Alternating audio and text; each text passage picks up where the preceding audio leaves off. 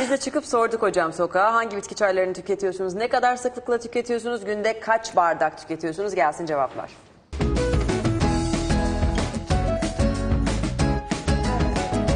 Bitki çaylarını tüketiyor musunuz? Ne kadar sıklıkla? Günde mesela kaç fincan bitki çayı tüketiyorsunuz? Hangi çayı genellikle tüketiyorsunuz? Genellikle günde bir fincan, eee, daha çok papatya ya da yeşil çay tercih edebiliyorum.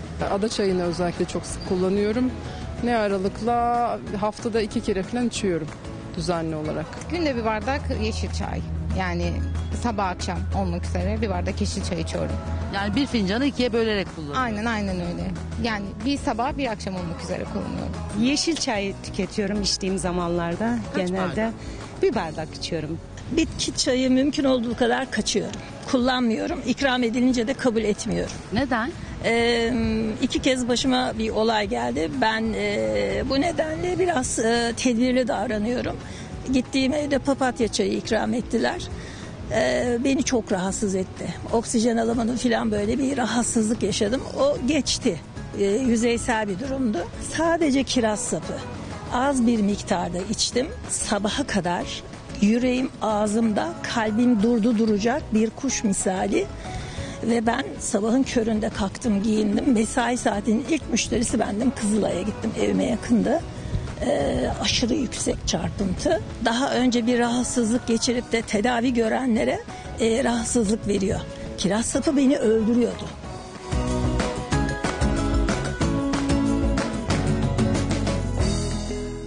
Hocam herkesin bir çay tutkusu oluştu. Normal bizim Türk çayı sizin de şu an içtiğiniz gibi e, bir çay kültürü var. Peki bu çaylar gerçekten bazıları metabolizmayı hızlandırıyor. Bazıları zayıflamaya yardımcı oluyor. Bunlara nasıl bakıyorsunuz?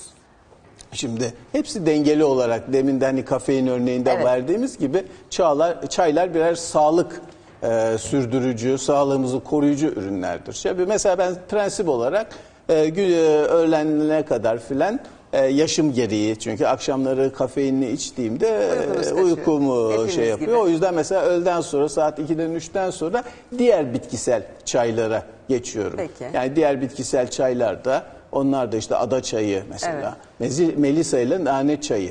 Çok güzel. Ben çok öneririm. Neden? Çünkü her akşam yatmadan önce yemekten sonra içilmeli melisa çayı ama çok gerçek melisa. E, Çünkü radyasyonu temizlediği deney hayvanlarında gösterilmiş. Şimdi ister istemez hepimiz radyasyondan etkileniyoruz. Elbette. Cep telefonlarından tutun, güvenlik cihazlarına kadar, e, güneşe kadar şey yaptığınızda akşam melisa çayı, gerçek melisa çayı, nane çayı, tıbbi nane çayı, Evet. pardon yok, o öteki spermint çayını Evet. içtiğin nanesini içtiğinizde bu radyasyon etkilerini temizliyor. Mide asidini e, düzenlediği için sindirimi kolaylaştırıyor. Melisa içtiğinizde uykuya yardımcı Oluyor, oluyor. rahatlatıyor. E, bundan daha iyisi de ne Daha yani? ne olabilir? ne olabilir? Gerçekten çok güzel. Peki zayıflama çaylarına nasıl bakıyorsunuz? Zayıflama çayları önemli ama zayıflatıcı değildir. Yani zayıflamaya yardımcı. Şimdi yeşil çaya baktığınızda e, içerisinde demin bahsettiğim gibi kateşinlerle şeyler bir aradayken etkili. Tek tek bunları ayırdığınızda aynı etkiyi Evet. göstermiyor. Ve yeşil çayı içtiğinizde e, yağ yakımını hızlandırıyor. Mekanizmaları aydınlatılmış. Bunun dışında tabii çaylarda düzenli bir bu tedavi esasında kişiye göre yapılmalı demin de söylemiştim ve satranç oyunu gibi bu. Mesela işte şeker metabolizmasını düzenleyecek çaylar var. Çay olmasa bile besin destekleri var. Bunları e, ve- veren şeyler var. Efendime söyleyeyim bunun dışında e, idrarı kontrol Söktürücüler altında var. söktürücüler var. E, Ne kadar süre kullanmak lazım hocam bunları? Yani bir dönem metabolizmamız hızlansın diye bunları içiyoruz. E, bağırsaklarımızı rahatlatmak için vesaire ama bunun bir süresi var mı? Bunların böbreklere zararı var mı? Yani bitkisel diye her gün sinamdaki çayı içenler var mesela. Şimdi sinameki biz e, Bambaşka bir şey. sürekli e, tamamıyla o. Şimdi sinameki bağırsağı sinameki ile boşaltırsanız bir müddet sonra bağırsak tembelleşir. Bu kadar. Kendi peristaltik e, alışılagelmiş hareketlerini yapmaz ve siz ona mahkum kalırsınız.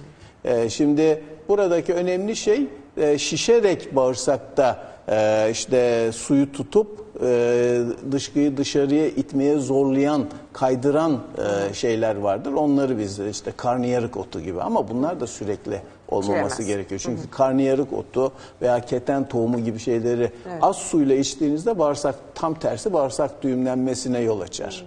Ee, sürekli olarak bunu yaptığınızda başka ilaçlar alıyorsanız o ilaçların emilimini engeller. Evet. Çünkü her bir şeyi emiyor bu. Çok şey doğru. yaptığınızda. Sizi tok tutuyor bunlar. Evet.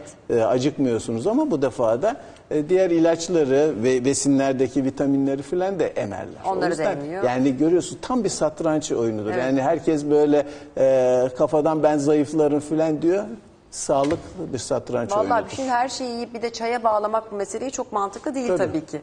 Yani bu tip çayları zaten günlük şey iki içerisinde tane içerseniz yani normal şeyde alışkanlık haline getirirseniz o yardımcı olur. Yani bunda bir sınırlama olmaz ama e, sinameki biz bir haftadan fazla kullanıldığında kolon kanserinin başlıca tetikleyicisi olabiliyor.